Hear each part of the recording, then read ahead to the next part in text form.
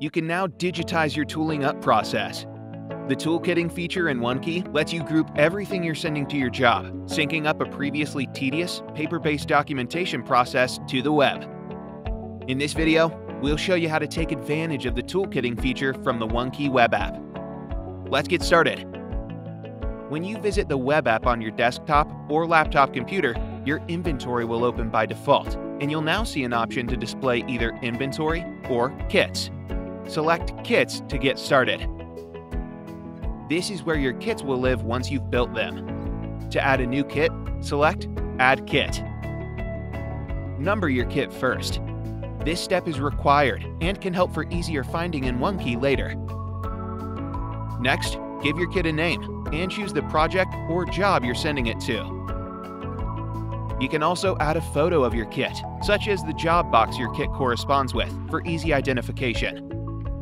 You can now save your kit or first, add items to your kit. Let's add some items to your kit.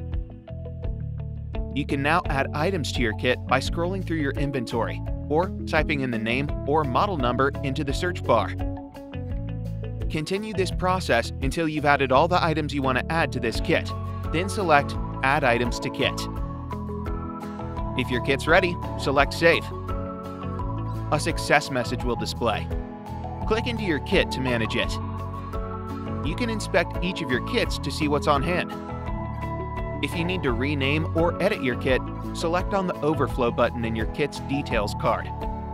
Here, you can manually change your kit's assigned number or barcode number or change its name. You can also use the Overflow button to delete your kit if necessary. Select Change Items to add or subtract items to this kit from your inventory.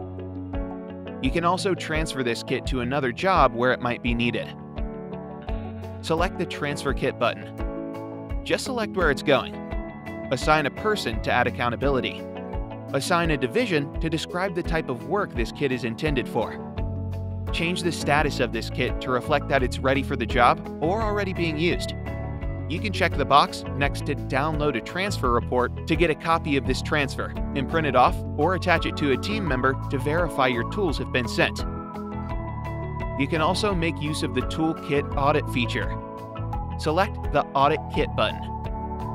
This feature allows you to support accountability in your company by checking in the kit and its contents in real time as it arrives on the job, or at the end of the day, or at the end of a project to ensure what you started with is what you've ended with.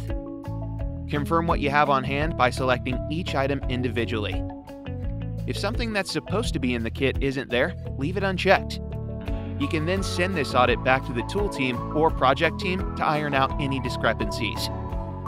Finally, if this kit's no longer in use, you can select Disassemble. Your tools will be added back to inventory as unassigned. There you have it. Keeping track of groups of tools and equipment on the job just got simpler. For more helpful tips like this, subscribe below and click on another video to keep watching.